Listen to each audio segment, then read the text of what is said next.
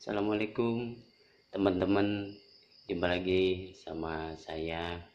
Kali ini saya akan berbagi cerita uh, Tentang kasih sayang suami istri.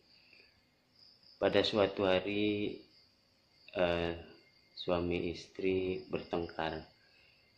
Terjadi sebuah hal yang tidak diinginkan.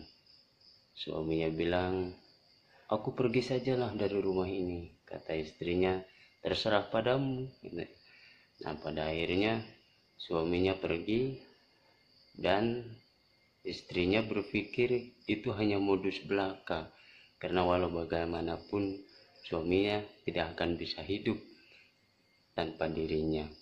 Dan akhirnya satu hari dia menunggu suaminya tidak kembali dua tiga hari juga tidak kembali. Pada akhirnya setelah seminggu suaminya tidak kembali khawatir juga dirinya.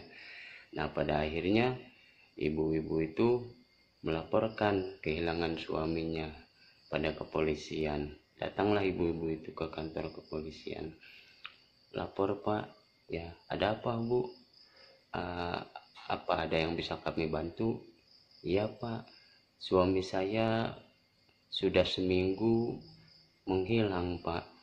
Loh terakhir ibu bertemu dengan dia di mana? Di rumah pak. Dia pergi dan sampai sekarang belum kembali gitu. Sudah seminggu ini bu. Iya sudah seminggu ini pak polisi suami saya nggak kembali. Lah ibu ini bagaimana sih? Sudah seminggu suami hilang.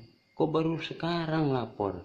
Nah ibu itu bilang sama polisi iya pak Hari ini saya baru ingat kalau suami saya gajian. Alah.